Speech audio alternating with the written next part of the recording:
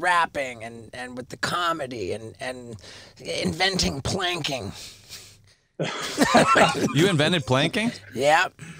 Well, Planking became a thing. plank- What do you I mean? didn't, I didn't. I didn't call it planking, but one of the early bits on my show, I would go and I would just lie down on my face until people came and called an ambulance, right? and you know, and then you know, years later, everyone was lying down on their face, and and I was credited with that. But Nice. uh, but we didn't really call it planking. But but yeah, you know, I mean, you know, this it's it's like we we kind of like. uh you know what I find interesting about the world today is everybody's kind of doing what we did back when we were younger. You know, so many people like people are kind of able to go out and kind of create their own thing and do their own thing, and and uh, that was sort of so much sort of more of an obscure idea back in the day where you could actually just go make your own your own content, as they call Right. it, content.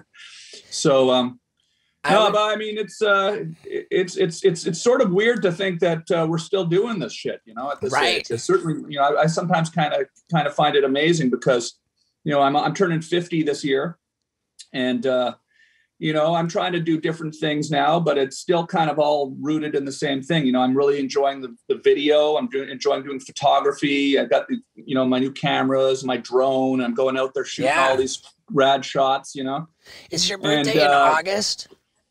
what's that? Is your birthday in August? July 30th. Oh, yeah, July yeah, 30th. So pretty close. Pretty close to Yeah, August. yeah, oh yeah. Guess what? I have the number 30 ranked hot sauce on all of Amazon. It's called Steve-O's Hot Sauce for Your Butthole. And if you go on Amazon and type in Steve-O's Hot Sauce for Your Butthole and order yourself a bottle, you'd be really helping me. Because right now we're ranked number 30 on all of Amazon. And if you buy a bottle, we might go up the ladder. And that would mean a lot. So please get on Amazon and buy Steve-O's Hot Sauce for Your Butthole. Yeah. Yeah, dude.